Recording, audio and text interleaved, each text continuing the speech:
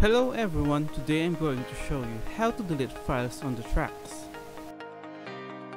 To delete a single file, highlight the file, then click the delete button on the interface, or right click and select delete.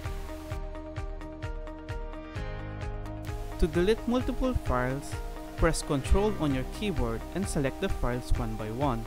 Then, click the delete button or right click the files and select delete.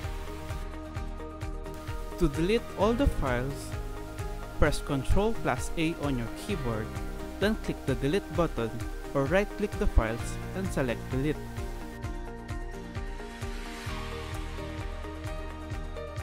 To delete one, multiple or all files, click drag over the area that covers the file or files you need to delete, then click the delete button or right click the files and select delete.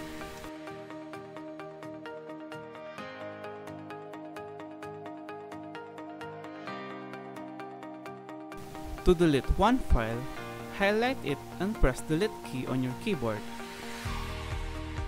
To delete multiple files, press Ctrl and select the files one by one. Then, press delete key on your keyboard. To delete all files, press Ctrl plus A, then press delete key on your keyboard.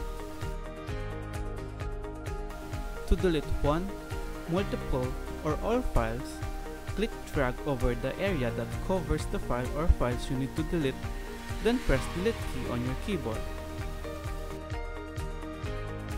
And that is how you delete files on the tracks. Thank you for watching.